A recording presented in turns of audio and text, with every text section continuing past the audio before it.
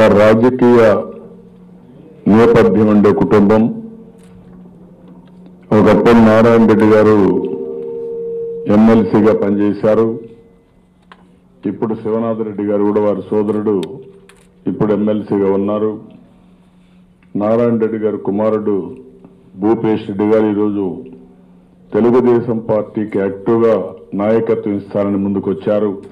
వారిని మనస్ఫూర్తిగా మీ అందరి తరపున ఆయనతో వచ్చిన మిమ్మల్ని అందరినీ పార్టీలోకి సాదరంగా ఆహ్వానిస్తున్నాను. జమ్మలముడికి ఎప్పుడూ తెలుగుదేశం పార్టీకి కంచు కోట. మళ్ళీ అది నిరూపించాలని చెప్పి భూపేష్ రెడ్డి గారిని కోరుతున్నా. యువకుడు ఉత్సాహవంతుడు ప్రజలకు సేవ చేయాలనే ఆలోచన ఉండే వ్యక్తి. ఆయన ఈరోజు రాజకీయాల్లో చురుకైన పాత్ర యంగ్స్టర్. ఈ యువకుడు కాబట్టి ఇంకా ముప్పై నలభై సంవత్సరాలు ప్రజలకు సేవ చేసే అవకాశం ఉంటుంది. జమ్మలమడుగు నియోజకవర్గాన్ని అక్కడ ప్రజలను అభివృద్ధి చేసే అవకాశాలు మెండుగా ఉంటాయి. వారు ఆ దిశగా పయనిస్తే తెలుగుదేశం పార్టీ వ్యక్తిగతంగా నేను పూర్తిగా అండగా ఉండి అన్ని విధాలు అభివృద్ధి చేస్తామని మరొక్కసారి మీ అందరికీ హామీ ఇస్తున్నా. మన నాయకుడు ఎన్టీ రామారావు గారు ఇప్పటి నుంచి కూడా జమ్మల మొడగట్టి ఒక అభిమానంతో ముందుకు పోయారు. అదే అభిమానం కొనసాగుతుంది. ఈరోజు కూడా ఇంకొక చరిత్ర. అంబేద్కర్ గారు రాజ్యాంగాన్ని రాసిన తర్వాత ఈ రోజు అమలు చేసిన రోజు. అంటే చాలా అరుదైన అవకాశం. ఆ అవకాశం భూపేష్ రెడ్డికి వచ్చింది చరిత్రలో. ఇప్పుడే ఈ సందర్భంగా రాజ్యాంగ విలువల్ని కాపాడడం కోసం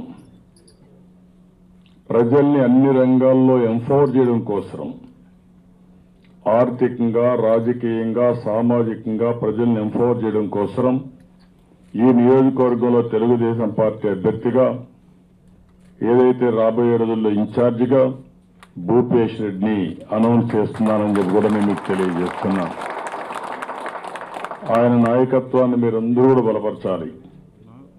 ఎవరైతే ఇంత మునుపు కూడా చాలా మంది పార్టీలో కార్యకర్తలు ఉన్నారు కొంతమంది నాయకులు పార్టీని వదిలిపెట్టి పోయినప్పటికీ పార్టీని నన్ను నమ్ముకొని ఎవరైతే పార్టీలో ఉన్నారో వారికి ఎప్పటికీ గుర్తింపు ఉంటుంది.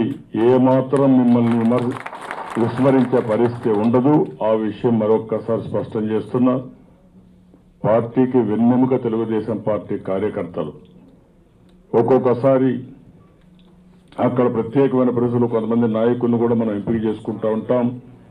మొదటి నుంచి పనిచేసిన కార్యకర్తల్ని సమర్థుల్ని ఎప్పుడు కూడా విస్మరించాం. నేను మొన్నే పిలిపించి మాట్లాడాను.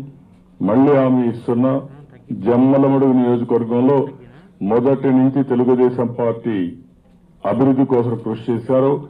వాళ్ళకు తప్పకుండా గుర్తింపించే బయట నేను తీసుకుంటానని మరొక్కసారి మీ అందరికీ హామీ ఇస్తున్నా. మూడు రోజులుగా వరద ప్రాంతాలు తిరిగి రాత్రి నాలుగు గంటలకు వచ్చాను. కానీ ఈరోజు అంబేద్కర్ గారు రాజ్యాంగం రాశారు కానీ మన రాష్ట్రంలో మాత్రం ఆ అంబేద్కర్ రాజ్యాంగం అమల్లో లేదు. దానికి కారణం ఒక మాటలో చెప్పాలని ఒక మాట చెప్పాడు. రాజ్యాంగం ఎంత మంచిదైనా దాన్ని అమలు చేసేవారు మంచివారు కాకపోతే అది చెడ్డదిగా రుజువు చేయబడుతుంది.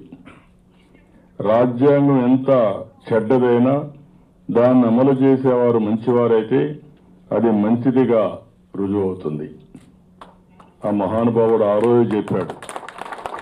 అంటే రాజ్యాంగం నేను రాశాను. ఒక పవిత్ర గంధంగా ఉంటుంది. దీన్ని అమలు చేయవలసిన బాధ్యత నాయకులపైన ఉంటుంది. ఆ నాయకులు సక్రమంగా అమలు చేస్తే మంచి ఫలితాలు వస్తాయి. ఒకవేళ రాజ్యాంగంలో పొందుపరచిన విషయాలు కూడా అమలు చేయగలిగితే ఇంకా మంచి ఫలితాలు వస్తాయి. రాజ్యాంగంలో పొందుపరిచిన అంశాలు కూడా విస్మరిస్తే చెడు ఫలితాలు వస్తాయని చెప్పి ఆ రోజు చెప్పాడు నాకు అనిపిస్తుంది. జగన్ రెడ్డి లాంటి వాళ్ళు వస్తారని ఊహించాడేమో అంబేద్కర్ ఆ రోజే. అందుకని ఈరోజు ఇది చూసిన తర్వాత నాకు అనిపిస్తుంది ఎంత గాలి మాటలు మాట్లాడుతున్నానంటే అసెంబ్లీలో ఇష్టానుసారంగా ప్రవర్తిస్తే నేను ఒకటే చెప్పాను. ఈ గౌరవ సభలో నేనుండను. మళ్ళీ గౌరవ సభ ఏర్పాటు చేసిన తర్వాత ప్రజాక్షేత్రంలో తేల్చుకున్న తర్వాత మళ్ళీ ఈ సభకొస్తా ఆ రోజు గౌరవ సభగా దీన్ని తీర్చిదిద్దాను చాలా స్పష్టంగా చెప్పాను. నలభై ఏళ్ళు ఇంకా ఎక్కువ రాజకీయాల్లో ఉన్నా ఎంతోమంది ముఖ్యమంత్రులతో కలిసి పనిచేశా ఎంతోమంది నాయకులతో విభేదించా. రాష్ట్ర అభివృద్ధి కోసం ఆ రోజు సమైక్య ఆంధ్రప్రదేశ్లో ఇప్పుడు చేస్తూనే ఉన్నారు. అలాంటిది ఇష్టానుసారంగా వీళ్ళు బిహేవ్ చేసి ఈరోజు మన రాష్ట్ర ప్రతిష్ట పూర్తిగా దెబ్బతీసే పరిస్థితికి వచ్చారు. నిన్ననే మీరు ఒకసారి చూస్తే నేను కడపకి వెళ్ళాను. ఒక నాయకుడు అంటే అంత మునుపు చేసిన పనులని మీరు చూశారు. కడప జిల్లాలో అతి విశ్వాసంతో అందరూ ఓట్లేశారు. ఏదో ముఖ్యమంత్రి అవుతాడు కడప బాగుపడిపోతుందని. నేను అడుగుతున్న కడప జిల్లాలో ఏవైనా రెండున్నర సంవత్సరాల్లో ఒక్క రూపాయి అభివృద్ధి కార్యక్రమాలు కడప జిల్లాలో జరిగాయని మిమ్మల్ని అడుగుతున్నా. మీ మధ్య మన జమ్మలమడుగులో ఉన్న జరిగాయా? ఏమీ చేయలేదు.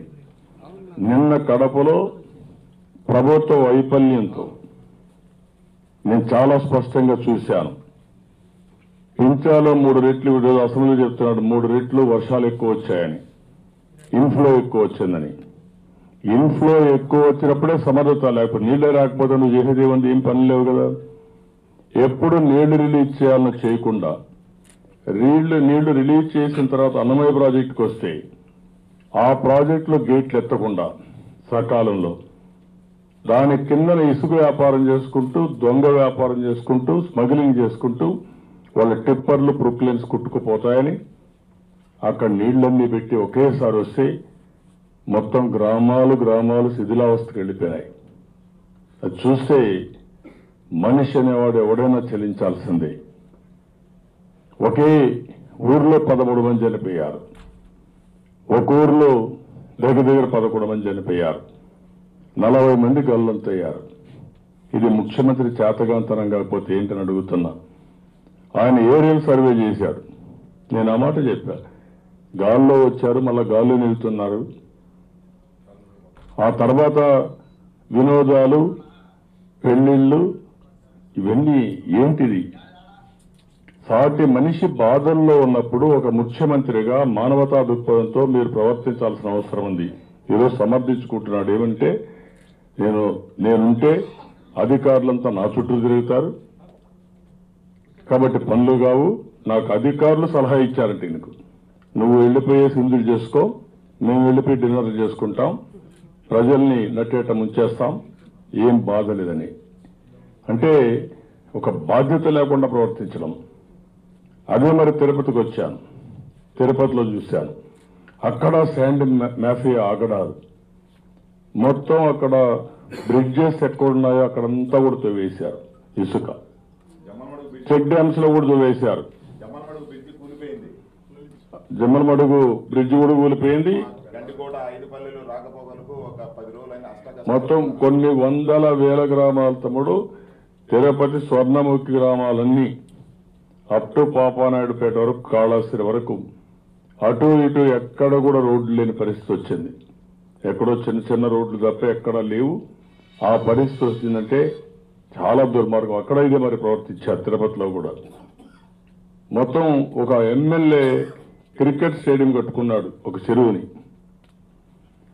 నీళ్ళు ఒక పెరుమాళపల్లిలో ఒక చెరువు దిగింది పేరూరుకు ఆ నీళ్ళు వచ్చాయి ఆ చెరువు నుంచి తుమ్మలగుంటకి వెళ్ళాలి తుమ్మలగుంటకి వెళ్తే అక్కడి నుంచి స్వర్ణముఖి వెళ్తుంది తుమ్మలగుంట చెరువులో స్టేడియం కట్టేశారు కాబట్టి ఆ నీళ్ళను వదిలిపెట్టి పద్మావతి యూనివర్సిటీ నుంచి మొత్తం ఆ ఏరియా ఏరియా ముంచేశారు. ఈ రోజు పోయి మేము కొడతాం ఒక పక్క అంటే ఆ ఊరిలో తుమ్మలగుంటకు రాకుండా కొడతామంటే ఆ ఊరిళ్ళంతా పట్టుకొని మా ఊరి మీద పెడతారని పెద్ద గొడవ అయితే పోలీసులంతా లాఠీ చార్జీ కొంతమంది హాస్పిటల్ అడ్మిట్ అయ్యే పరిస్థితికి వచ్చారు. అంటే ఎప్పటి నుంచో ఉండే వారసత్వంగా వచ్చేటన్ని వదిలిపెట్టి మీ పెత్తనంతో మీరెవరు ఆ చెరువును కలబెట్టడానికి? ఇది నేచర్ ప్రకృతి.